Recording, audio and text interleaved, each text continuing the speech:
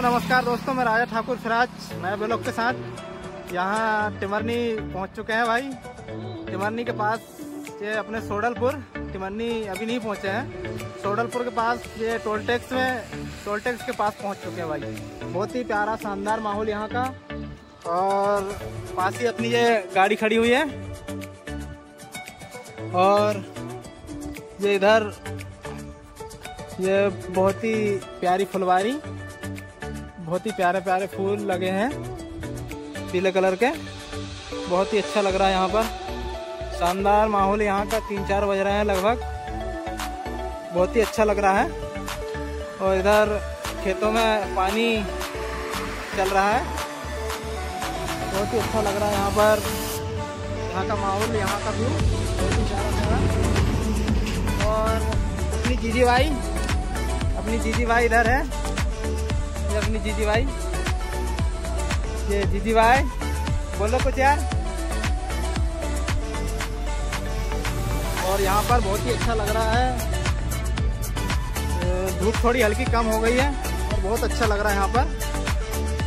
और ये काफ़ी में ये फूल लगे हैं, बहुत ही प्यारे प्यारे। पीले पीले से। येलो कलर में। बहुत ही अच्छा लग रहा है यहाँ पर। और पीछे टोल टैक्स है, पास में ही। बहुत ही अच्छा लग रहा है यहाँ पर। और अपन यहाँ धूप में खड़े हैं। हल्की धूप आ रही होगी। और ये बहुत ही शानदार लग रही है यहाँ से। बहुत ही अच्छा लग रहा है यहाँ पर। रोहित भाई रहते तो और मज़ा आता। क्योंकि उनके साथ जो भी लोग बनाया है, अभी तक बहुत हिट चले हैं अपने ब्लॉग बहुत ही अच्छा लग रहा है यहाँ पर। यहाँ पर ग्रीन सिग्नल भी येलो सिग्नल जल रहा है। बहुत ही अच्छा लग रहा है यहाँ पर। और यहाँ आ गया था भाई। दादी से करीबन एक बजे के समथिंग निकले थे। तो यहाँ। सोचा भाई थोड़ी देर रेस्ट करेंगे, फिर निकलेंगे। बहुत ही अच्छा लग रहा है यहाँ पर। ये सामने येलो लाइट भी जल रहा है यहाँ पर। यहाँ से क्रॉसिंग वाला रास्ता है। बहुत ही अच्छा लग रहा है यहाँ पर। और अपनी गाड़ी वो उधर खड़ी है। वहीं चलते। और आप निकलने की तैयारी करते भाई। भाई पूछो ये मत, बहुत अच्छा लग रहा है यहाँ पर।